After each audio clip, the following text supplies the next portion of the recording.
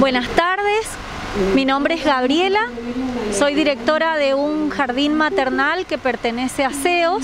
CEOS significa Servicio Educativo de Origen Social. Es un espacio educativo que tiene 33 años de existencia en nuestra provincia y que dentro de la diversidad contamos con jardines maternales, centros de apoyo educativos y también orquestas infantos juveniles. Nuestra historia es una historia de precarización absoluta. Todas las personas que trabajamos, educadores, educadoras, dentro de este espacio CEOS, somos todas contratadas y contratados. Nuestras comunidades generalmente funcionan, nuestros jardines, nuestros centros de apoyo funcionan en, barrios y comunidades muy marginados, muy vulnerados en cuanto a sus derechos, con muchísimas necesidades eh, socioeconómicas. Hay diversas problemáticas y bueno, lamentablemente durante estos 33 años lo que recibimos es como un abandono de parte de la Dirección General de Escuelas.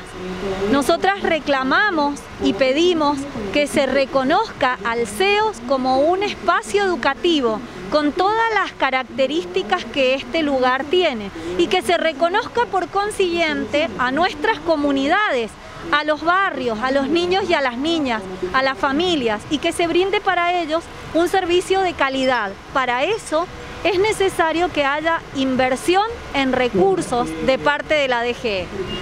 En marzo del 2020 se produjo por, digamos, por el desencadenamiento de la pandemia, se decide desde el gobierno nacional, en adhesión al gobierno provincial, se cierran las instituciones CEOs.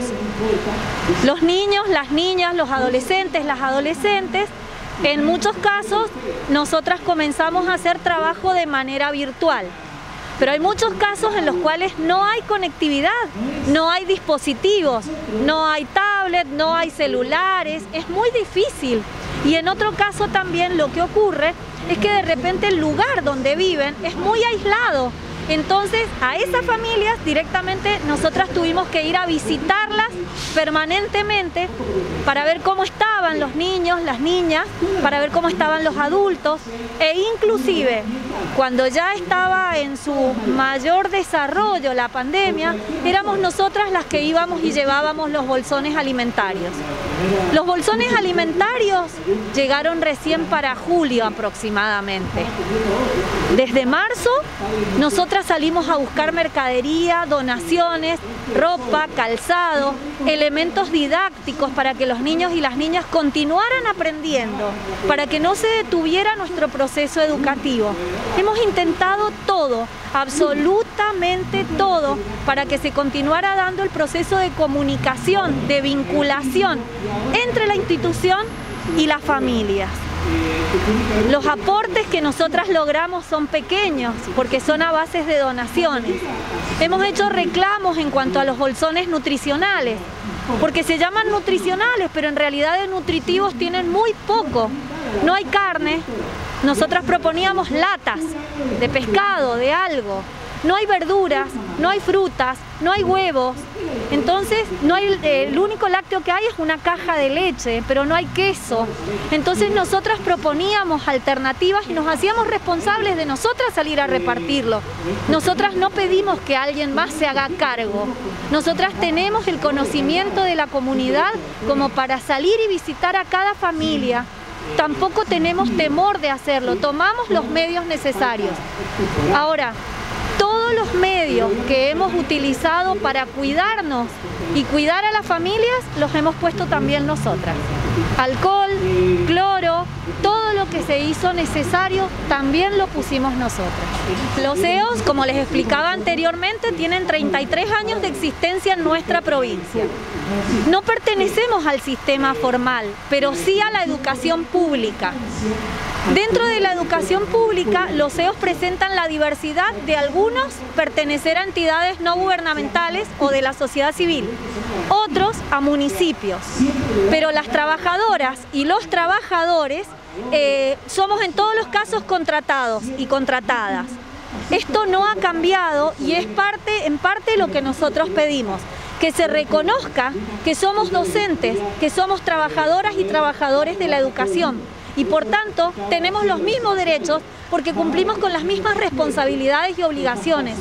En nuestras instituciones se trabaja con sistema GEM, llenamos todos los datos de los niños y las niñas. También se trabaja con las mismas cargas de estadística, es decir, recibimos las mismas circulares que recibe el nivel inicial eh, en salas de 4 y 5.